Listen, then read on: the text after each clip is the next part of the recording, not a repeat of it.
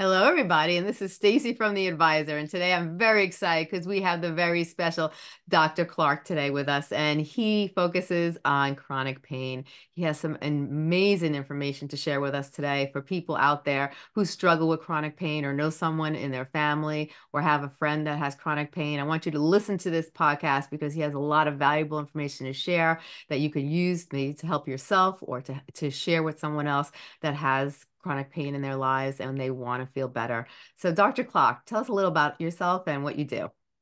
Well, I'm a physician for starters, and I'm board certified in gastroenterology and internal medicine. And over the last 40 years, uh, I have evaluated and cared for and successfully treated, I have to say, over 7,000 people who were essentially medical mysteries. They had no a biomedical explanation for their pain or illness. They, they went to doctors, sometimes a lot of them, sometimes for years or even decades. They got all the right diagnostic tests, and the explanation wasn't showing up. Um, so what I would do is I would evaluate them for what we call brain-generated pain uh, or illness, uh, which is in turn due to stress in the person's life, which can be past or present. And by uncovering the stress, which most of my patients didn't even recognize was there, uh, we were able to find something we could treat. And by treating the stress, the stress level goes down and the physical pain or illness uh, improves. And, you know, in a nutshell, uh, that's what I've been doing since the 1980s. Um, my first book about it was called They Can't Find Anything Wrong. Uh, and I'm the president of the Psychophysiologic Disorders Association for over a decade now. And our mission is to teach other doctors how to do this.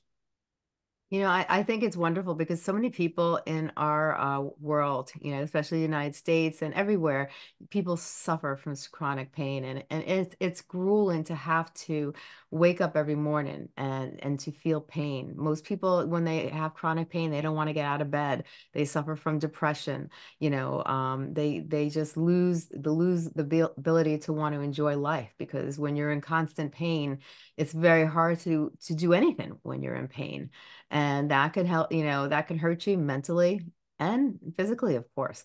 So you know what you know when you started your your journey on chronic pain and you were looking for more answers and you started to look at you know a lot of patients would come and they couldn't find the diagnosis as they were going to doctor to doctor to doctor and they still weren't feeling good what were some of the things that you look for and that you you maybe some symptoms or maybe some things people should really consider if they have chronic pain and they're not feeling better they're doing what the doctor says they go to second opinions they're still not doing better you know what are some of the things people should really you know start to uh, look for if if they're not getting better yeah, that's a great question. Uh, you know, I started out as the most normally trained doctor in the world. I mean, I got completely usual um, Western style medical training.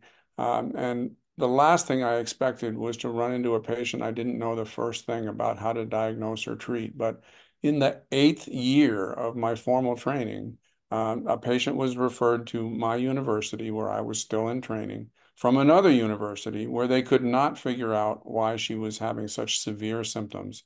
And you know, we had a special test that we did that we thought was going to show the problem. Um, that was normal too.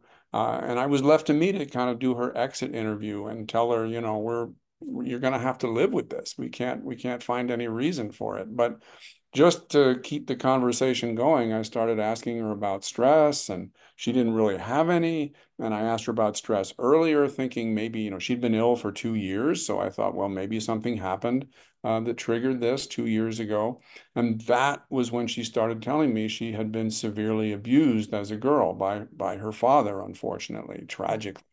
Uh, and I didn't think that you know. First of all, that came as a shock to me. I had no background in how to respond to something like that. It embarrasses me that I had no training in what to do when a patient tells you something like that. But right. I took the history, I got the information, I hooked her up with a psychiatrist that I had heard about that was interested in these mind to body connections.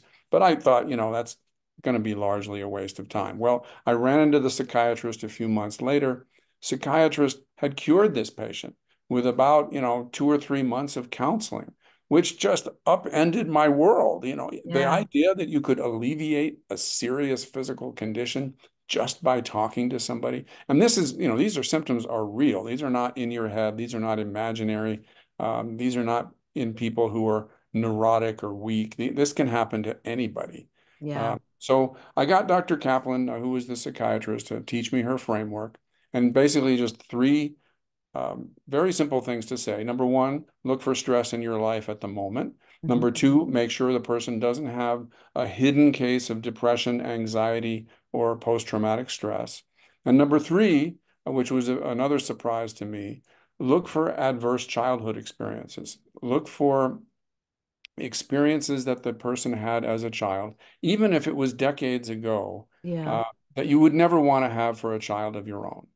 Um, and by just looking into those three things, uh, patient after patient after patient, I would uncover uh, enormous amounts of stress that were fully capable of causing very real symptoms. So when someone has carried stress, you know, in their life and they've had a traumatic event occur somewhere along the lines of their of, of their from childhood from you know to the their adulthood, what are some of the things that you do once you find out that they have had um, a traumatic event occur in their life. Now, is, do they, is that something that you would refer to therapy? Like, what's the next step? Okay, they they have something that happened to them. This is this is causing stress, which might be uh, irritating some parts of the body or the, the brain, causing other problems in the body. Like, what what's the next step? So once she told you that she had something traumatic happen to her, what was the next step? You know that that you, they had to do to help this patient go get along and get yeah absolutely there there is a process there as well and you know we can't obviously as much as we'd like to we can't go back and change the trauma that the person went through as a child. Um, but we can have a significant benefit to the long-term consequences and those tend to fall into three categories. Number one is uh, stressful personality traits. People who survive a challenging childhood oftentimes have uh, a lot of personality traits that they develop uh, in order to survive that early experience. Um, but they cause problems for them as adults. This can be low self-esteem is a, a, big fundamental one. Um, perfectionism, being excessively self-critical, not being assertive, uh, a tendency to put the needs of other people in your life uh, ahead of your own needs, uh, limitations in self-care skills where you don't put yourself on the list of people you take care of, and all of those things add up to a very high stress level. But when people see where they came from, uh, when they start imagining a child of their own growing up the same way they did and how that child might react to that environment, it helps them to make changes. It helps them to feel more positively about themselves. They can recognize the heroic per perseverance that it took to get through that early experience. And they start to think of themselves uh, as strong, um, capable people. And that's, you know, that flips their usual self-image uh, 180 degrees around. So that's that's number one, the personality traits. Number two are to look for triggers. Uh, some a person, a situation, an event that's in your life right now uh, that is in some way linked to the past traumas, uh, and as a result of that, it's triggering for you. It's it's inducing a whole lot of stress for you in the present day. Uh, one of my patients who was um, hospitalized at a prestigious university 60 times in 15 years oh, for wow. attacks of severe vomiting and dizziness. It turned out that, and, and, she had, you know, she saw a dozen specialists. They even had a psychiatrist talk to her, but he missed the diagnosis too, unfortunately. Uh, but it turned out that all of these attacks that she had, which were occurring, you know, six to 10 times a year, they were all connected to um, encounters with her mom, who was verbally and emotionally abusive towards her from the age of four onwards. This is a 50 year old woman. And the mom was still doing this to her after all these years. And she never put it together that it was her mom who was the trigger for these. Um, and then number three, I'm looking for repressed emotions, uh, negative emotions, obviously, anger, fear, shame, grief, guilt that a person is carrying with them. Uh, and they're, they're not consciously aware of it. They're not able to deal with it uh, verbally. And so it's expressing itself via the body. Uh, my one of my most extreme examples of that is a uh, was an 87 year old woman who had been having abdominal pain since she was eight years old. And so the natural question to ask was, well, what happened to you when you were eight? And it turned out that um, she had been caring for a younger sibling from the time the sibling was born until the, the sibling was two and a half. It was a, a younger brother. And unfortunately, you know, and she she did everything for that infant. Yeah. Um, the way uh, any other girl might play with a doll. But Mhm. uh, tragically, uh, this uh, younger brother uh, developed appendicitis and died. This was the Oh, wow. 1920s. This was rural Idaho. This was no antibiotics. This was a hospital that was, you know, hours away. There was nothing that could be done. Uh, but of course, you know, as an eight-year-old, she just felt completely responsible, horribly guilty, started having the stomach pains very soon after that. And she was carrying this guilt 79 years later Wow. But successfully treated. I, you know, we got to have the happy ending. Uh, I asked her to write a letter to her deceased toddler brother, just asking for forgiveness and uh, talking about, you know, what it was like to be an eight-year-old uh, and taking care of a, a, kid like that. And that that helped to, you know, unburden all of Yeah. that guilt, and she felt uh, much, much better. Wow. That's amazing. Now, if you fall under those three categories, like what's the next step? Is there a different types of of of strategies and tools that you might have a person to uh, use, depending on uh, what the situation is, you know, to help them in the healing process? Is that the next step? Yes, uh, all of these uh, ideas that I've just been sharing uh, come under the heading of what I call pain relief psychology.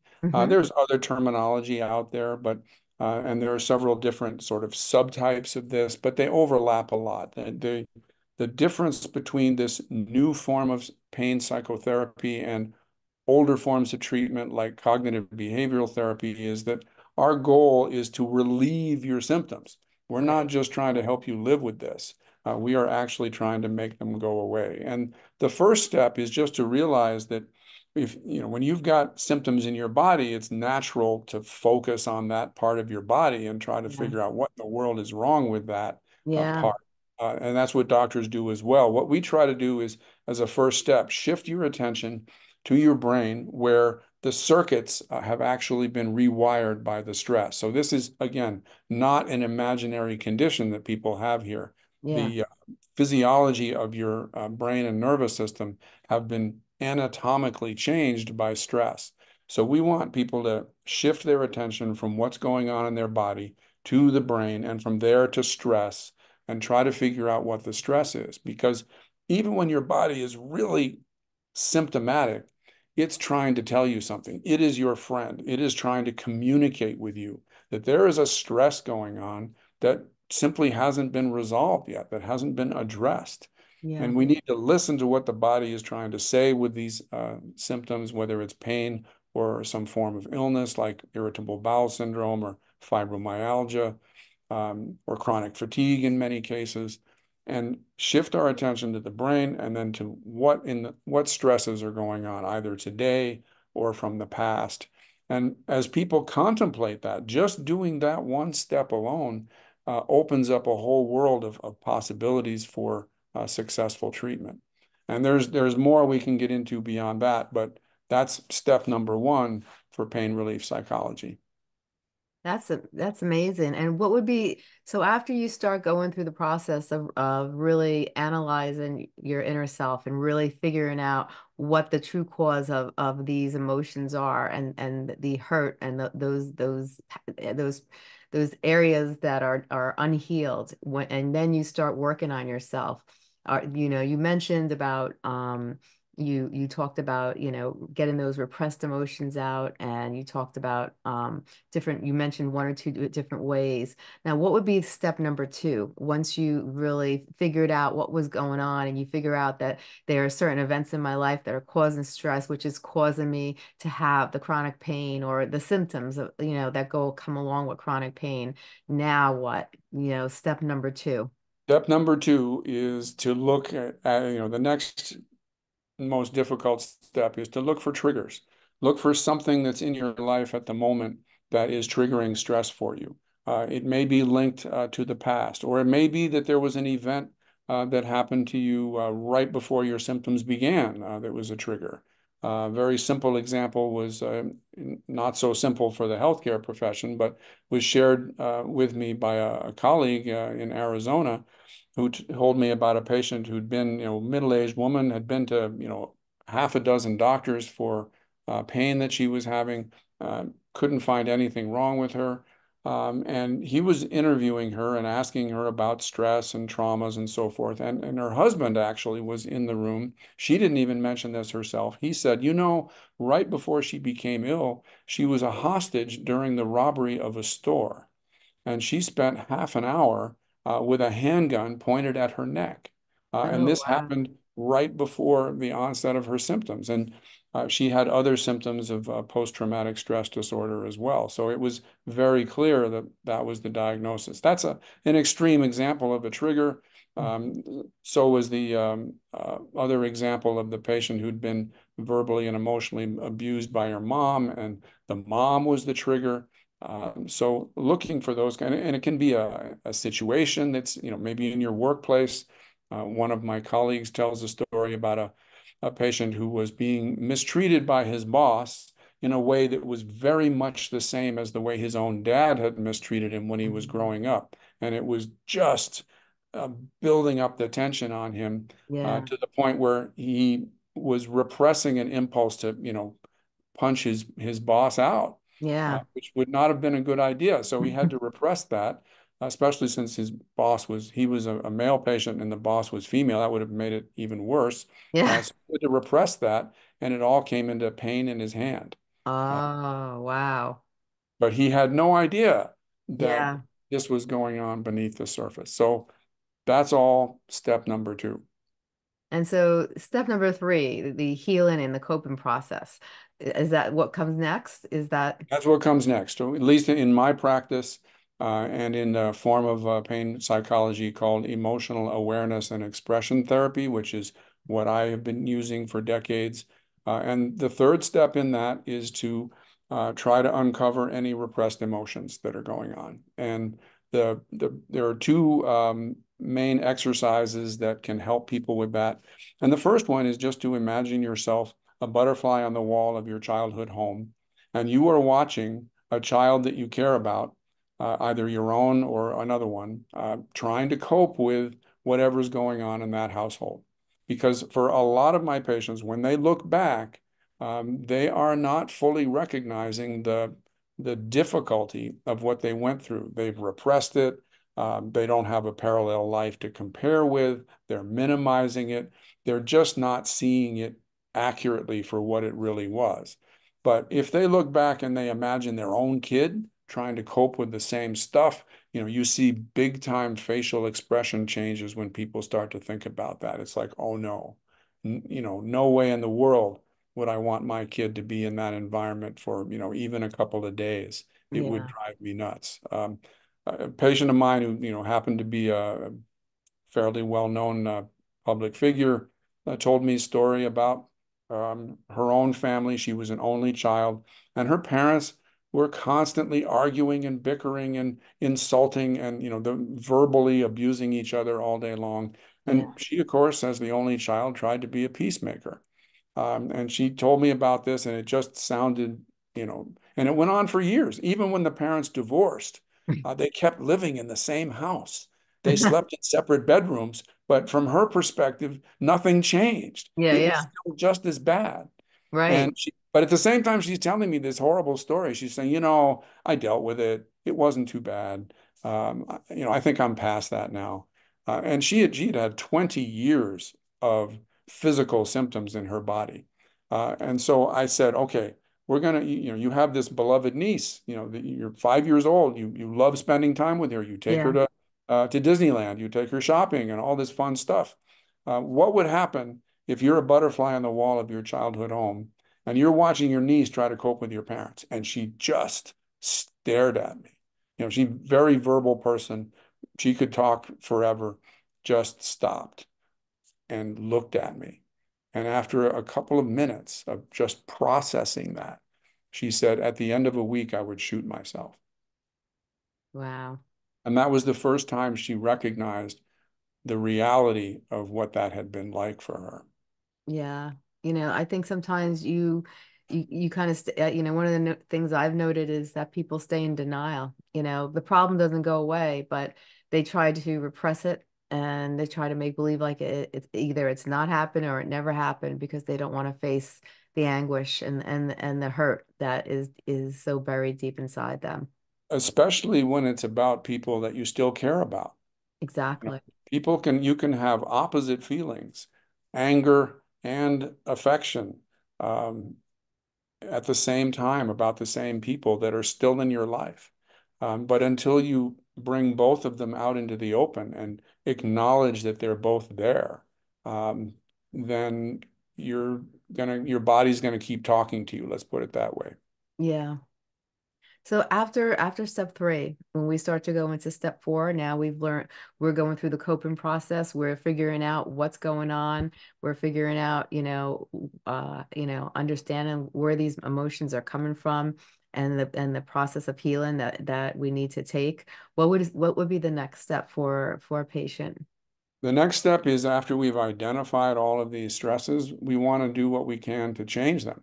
Yes. Uh, and one of the important steps is after you've recognized the reality of what you went through as a kid. And, you know, again, most of my patients had some kind of adverse childhood experience, yeah. is just to see that it took heroic perseverance uh, to come through that, to endure it, to come out the other end uh, as as a whole person. And yes, you may have had some uh, some struggles with that. You may have had an eating disorder, an addiction, and it's not just necessarily to substances. It can be to uh, exercise or sex or work, um, uh, as well as to uh, you know alcohol or drugs. Um, yes. Or you may have had uh, cutting behavior. Some of my patients repress their emotions so completely that they cut themselves in order to feel something.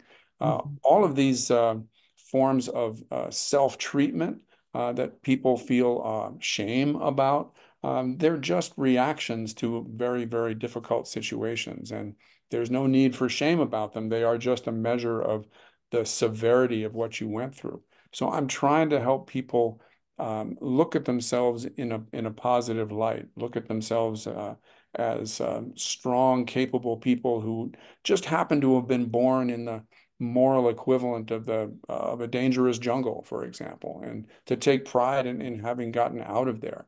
Right. And you can build your self-esteem like that.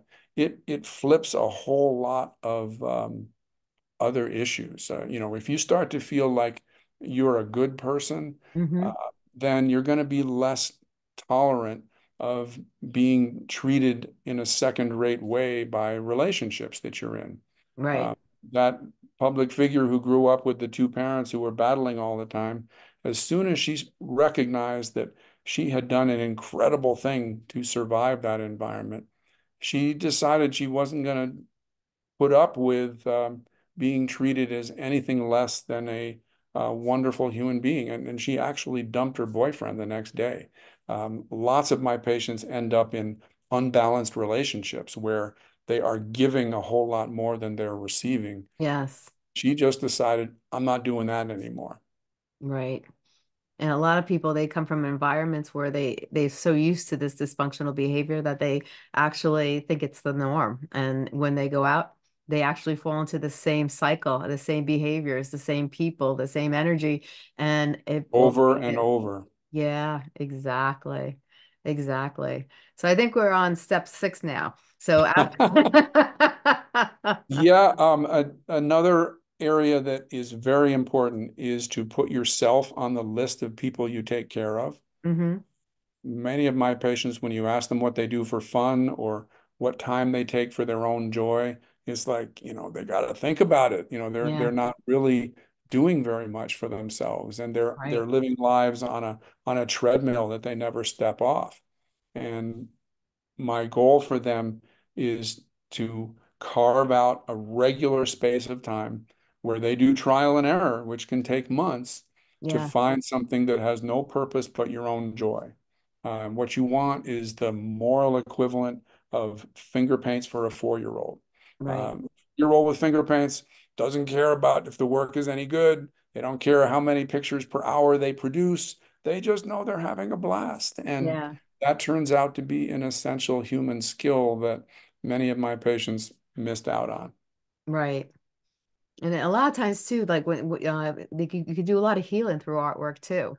People don't realize Yes. this, but they, you know, a lot of times it comes out in the artwork. It comes out through artistically. You know, you don't even have to be artistic. It's just the colors you use, the images, it reminds you of specific things, and you're just actually artistically getting those negative emotions and those imageries out. And then it's kind of clearing that negative energy from you too. It's uh, if you can't put it into words or you don't have experience putting it into words, let it come out um, some other way than uh, through your body.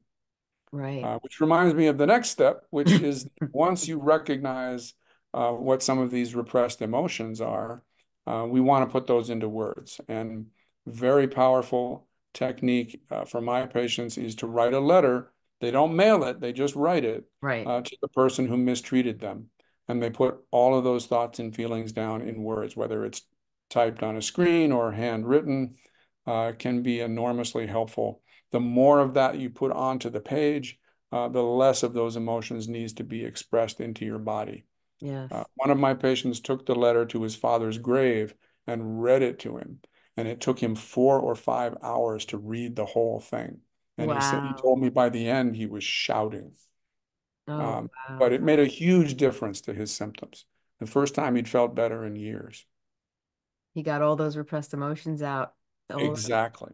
Exactly. They didn't need to go into his body anymore. Yeah. And I think sometimes too, it's like a a- like a domino effect. Once you start getting those emotions out, other ones start popping up and, and popping up, and you might not even realize you had those emotions. And it's just like a domino effect. And then all of a sudden it all starts pouring out and releasing from you.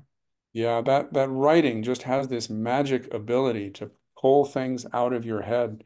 Um, I always remember one patient of mine who just really didn't want to go there. I mean, I kept saying, if you want to get better, this this writing exercise is going to be the single most effective thing you can do. And you know, she just wasn't ready for it. Yeah. And she would come back to see me every month or two, and she'd be on the internet and she'd have some new idea uh, for a diagnostic test I could run or uh, some new treatment I should prescribe for her. And I would say, you know, did you write that letter yet? And she, no, not yet.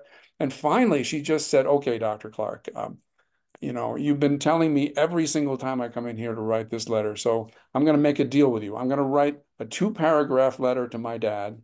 And, but if I do that, you have to stop asking me uh, to, to do this uh, ever again. And I Mhm. said, you know, I don't think two paragraphs is going to be enough, you know, given the issues that you have with your dad. And take it or leave it, she says. So, you know, I figured that was the best I was going to do. Uh, somewhat against my better judgment, I said, "Okay, I'll make the deal. I won't. I won't say this anymore. You've heard it from me enough. You know I'm thinking it." Uh, so Mhm. she goes off and she writes the two paragraphs, and then she writes a third paragraph. And oh, you know, she's got a few more ideas. Writes a fourth paragraph. She ended up with nine single-spaced pages Mhm. typed. Wow. and kept it in a locked desk drawer for years afterwards and finally felt better. I mean, 18 months, she really hadn't improved. After she did that, much, much better. Um, didn't need to come and see me any more than every year or two after that. Wow. That's amazing. You know, it's amazing how how how writing has such an effect on people.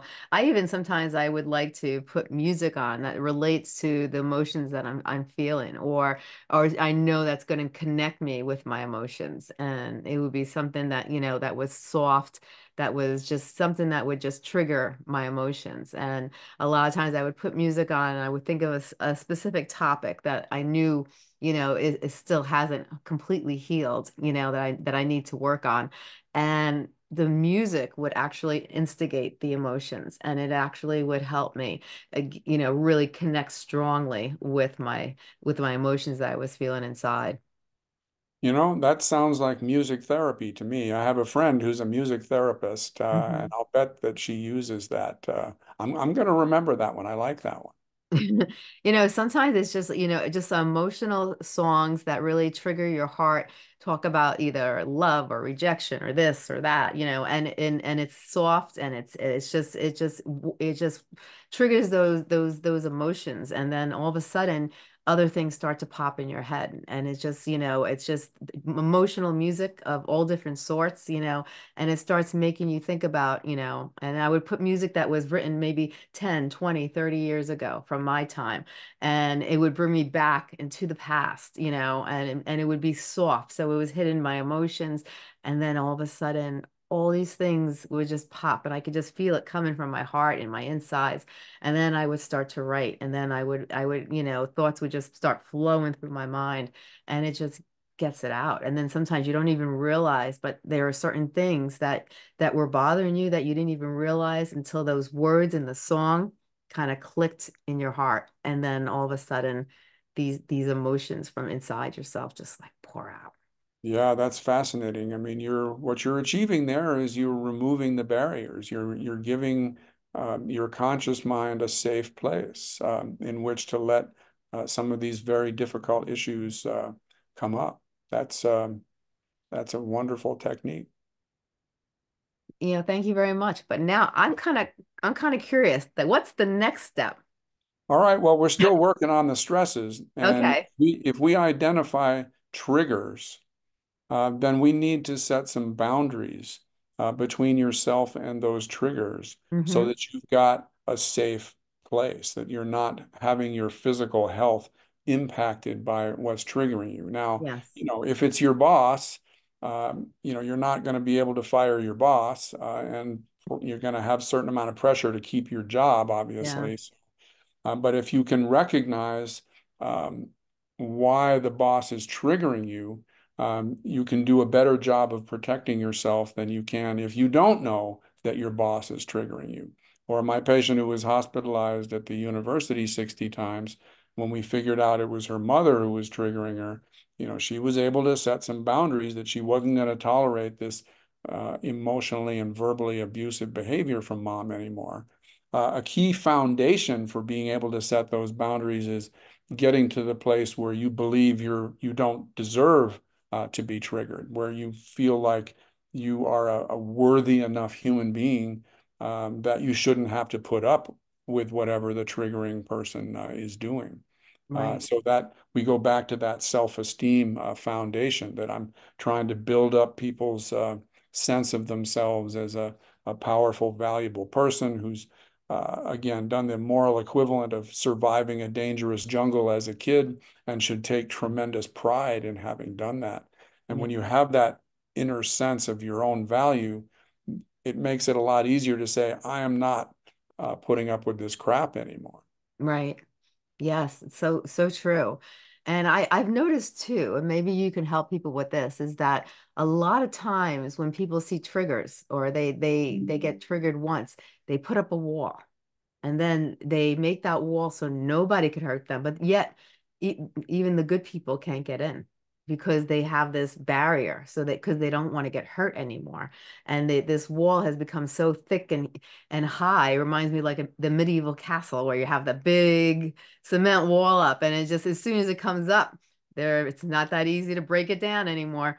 And you know, instead of having that that wall, you know how could people like learn to break that wall down but yet protect themselves so they don't have to put a wall up and let the other people you know that are that are good that are positive that are, would be you know someone that would be a benefit to their life actually come in and be able to get close to them because so many people have pushed people out and they don't care if they're good or bad they've been hurt they've been triggered and nobody's coming near me anymore.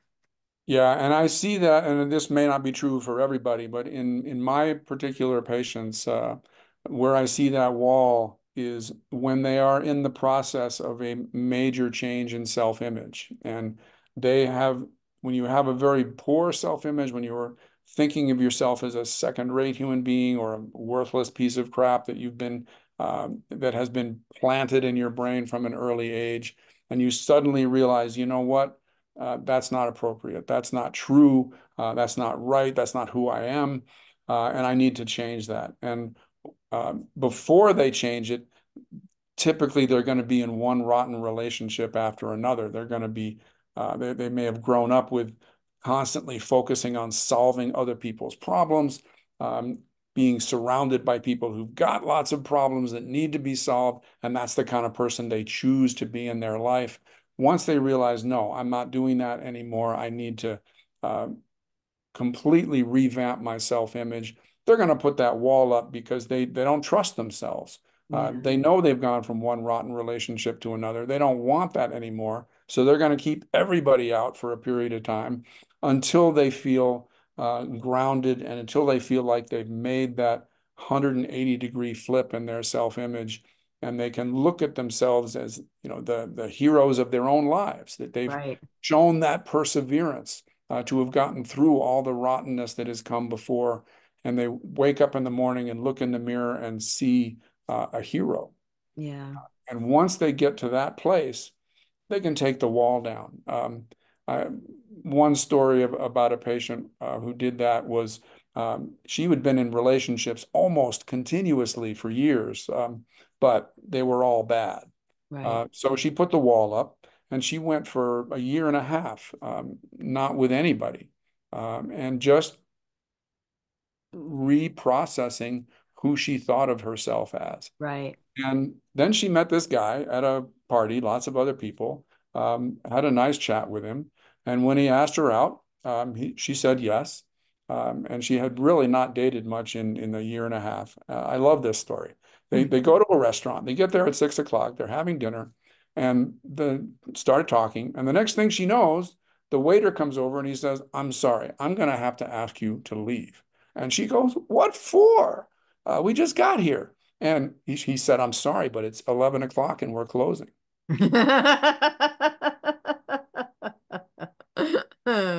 and those two have been happily married now for over a decade. Oh, that's wonderful. I like that story a lot. Oh, it's nice to hear stuff like that because, you know, you want people to, everyone deserves to be happy. Everyone deserves to live a, a life that they, that, they just happy, healthy, you know, uh, fulfilling life that, you know, they could feel good about themselves and, and have that self-esteem. And because everybody is a wonderful person. Everyone has wonderful qualities about them. And it's, it's up to that person to go inside themselves and to let those those beautiful qualities shine.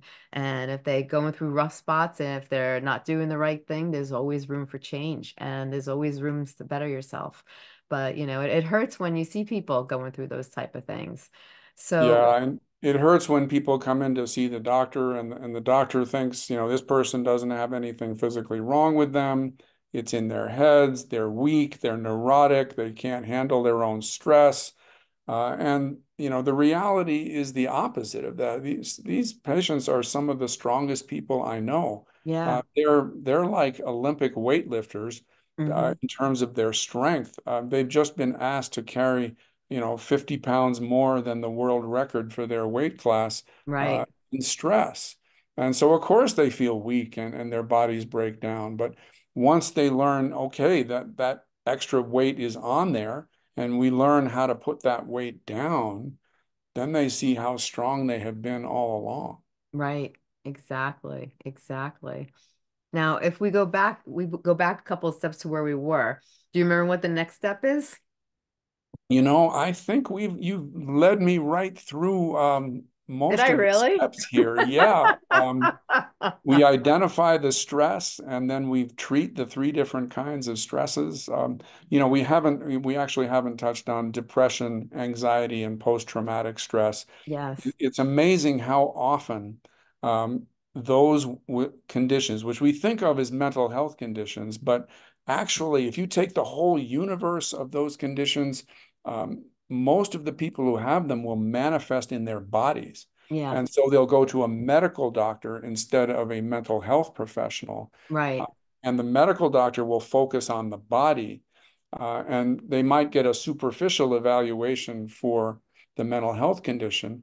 Uh, but, you know, countless patients of mine uh, who have suffered absolutely definite depression or anxiety or post-traumatic stress, they'll initially tell me, no, I don't feel depressed. Yeah. Uh, or I'm, you know, I don't feel anxious, but they've been anxious for so many years, it just feels normal to them. So Yeah. say, no, I, I don't feel that anxious. Um, but um, the key there is that their symptoms are much worse, uh, more severe, more frequent whenever they're away from a safe environment. Um, Right. one of my patients just very simply um, uh, was having a, a bowel attacks, uh, we can call them, uh, and they were happening two or three times a week uh, for the past nine months, and nobody could figure out why. Well, uh, because I take very detailed histories of exactly when and where the symptoms are occurring, I found out that she didn't have any uh, when she was at home, and home for her was a safe place. Yeah. Leaving home, it would trigger her anxiety. But you know, she spent waking and sleeping 50% of her time at home. So uh, her bowel attacks 50% of those should have taken place at home if it was just something in the bowel, because Right. the bowel doesn't know if you're at home or away. You know, it's dark in there. We, we got to bring our own light when we go in to look around. Uh, Uh-huh.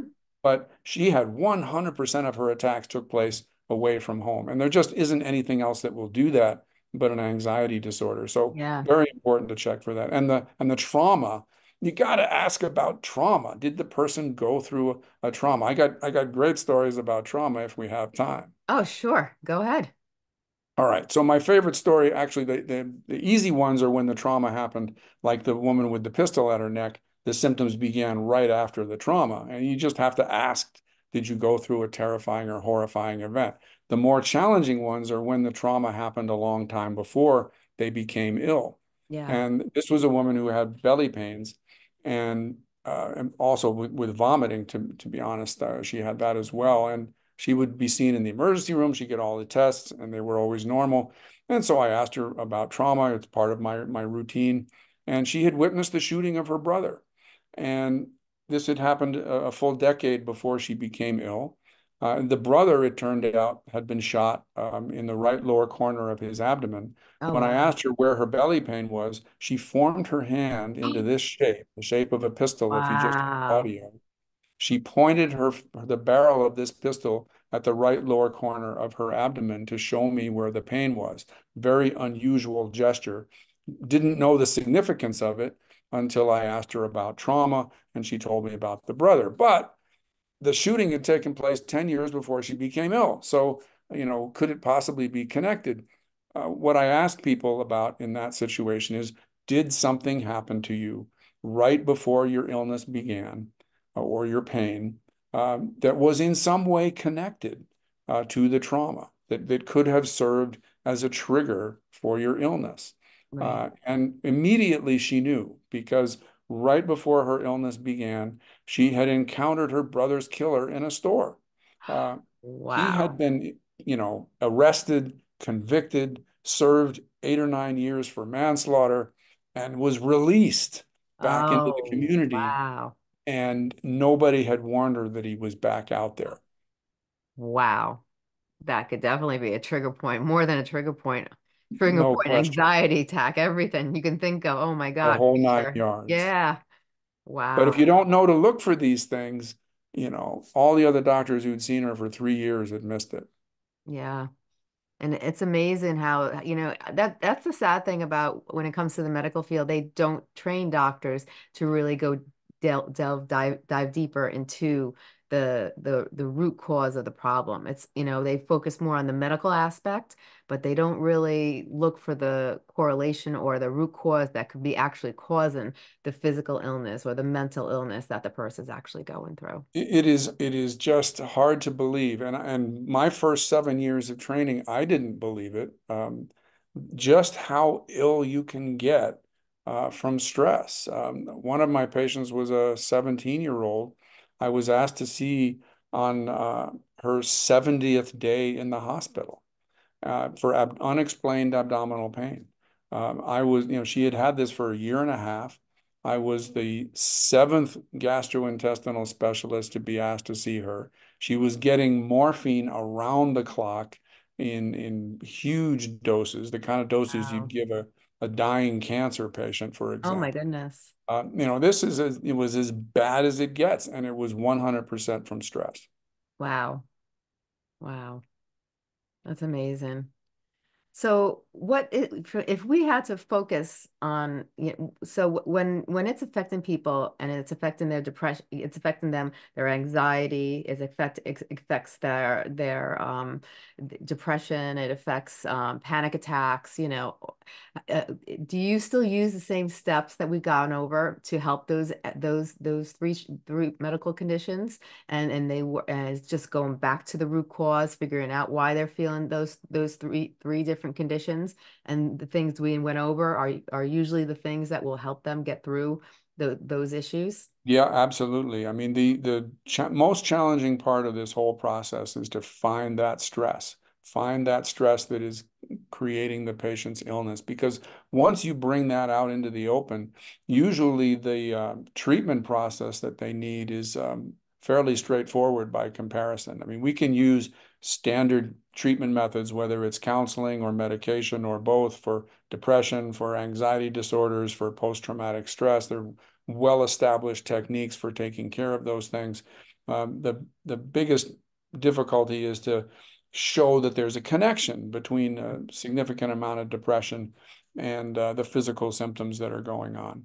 But once the patient sees that, uh, they're willing to undergo the treatment uh, for the mental health condition or for the childhood trauma yeah. or for the stress that's in a person's life uh, right now.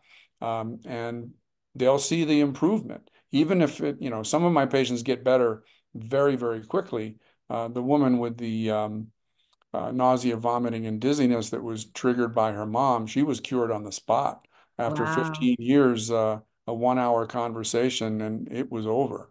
Um, but other people, they need you know years of psychotherapy, but they know that they're on a pathway uh, toward getting better, and the number of times they need to visit the doctor goes way way down. Now, it's you know it's it's wonderful. I think it's it's it's a i i actually you know recommend going to a doctor that could kind of guide you through it and help you find the root, root cause. But are there anything that people can do at home? If they know there's something triggering them you know, if they're out of that denial stage, if they're conscious and they know there's something going on and it's deep rooted and they're not sure, is there things they could do at home? Like we talked about journaling, or there is there any type of activities they could try to figure out for themselves, you know, what is the root cause, what's, you know, causing these problems? Or is this something that we should just actually just go to a, a doctor like yourself and just go step by step and and and work your way through? Yeah, everybody's different, but uh, you know, I'm I'm not a good promoter of my own resources because I haven't mentioned any of them up to now, but uh, my nonprofit's website of endchronicpain.org, it starts with a, a 12 item quiz that takes oh, people cool. less than three minutes uh, to fill out. And each question on the quiz has some uh, information that explains the, the meaning of the question. Uh, and the more of those questions to which you answer yes, the more likely it is that one of these issues uh, is going on. And the questions themselves will start to point you uh, in the right direction. And then after that, we've got uh, courses on there. Uh, we have um, books that people can read. Uh, some, you know, there's my own, they can't find anything wrong. There's a number by my colleagues that are self-help and they're all scientifically evidence-based. Uh, we've got webinar-based courses on um, May 16th. I don't know when, uh, 2024. I don't know when you're going to be posting uh, our interview oh, today. Oh, this, but this will be up soon. So okay, there's there's an open webinar. Uh, the 16th is only like, like Thursday, I think, uh, this week. But uh, we've got an open webinar. You know, it's open to the entire world for free, where I'm going to be answering people's questions. Um, there are going to be probably over 200 people there, but uh, the questions that, that get answered uh, during the hour uh, will apply to uh, lots of people who don't get their questions in. Uh, so we're we're always coming up with more resources. We've got a, um, a live conference uh, with um, I think it's almost 20 international experts coming to Boulder, Colorado on September 26th for two days oh, of presentations um, on just this topic and going into uh, lots more depth than we have time for today. Oh, that's amazing. I love it. I love it. Oh, this is amazing. Now, if if um you had to really summarize everything we talked about today and you wanted to emphasize on a couple of important aspects, what would be some of the things you'd like to share with the listeners that you'd really like them to understand? You know, the whole thing starts with, you know, the first domino uh, idea is that the brain can cause real pain or illness anywhere in the body. And in fact, commonly uh, can do it in more than one place at a time, or that the uh, physical symptom can move from place to place or be exacerbated by stress. But just the fact that the brain can do this to the body and that it does this because of stress, that's kind of the next domino to fall. And then to find uh, what the stress is, uh, whether it's in your in the present day, uh, or it was from adverse childhood experience, or it's an undiagnosed case of depression or anxiety, or there's been a trauma. You know, following this this chain of logic uh, back uh, will just you know, as it did for me as a as a young doctor, just opens up a, a whole world of uh, therapeutic benefits that I had no idea existed. I am uh, lifelong indebted to Dr. Kaplan for teaching me this. Wow, that's amazing. I I'm so glad that Dr. Kaplan taught you this so you could be here today and teach everybody who's listening because I think this is something that we all we all go through stress in life. Everybody has stresses in their life. Everybody gets stuck in life. Everybody has obstacles.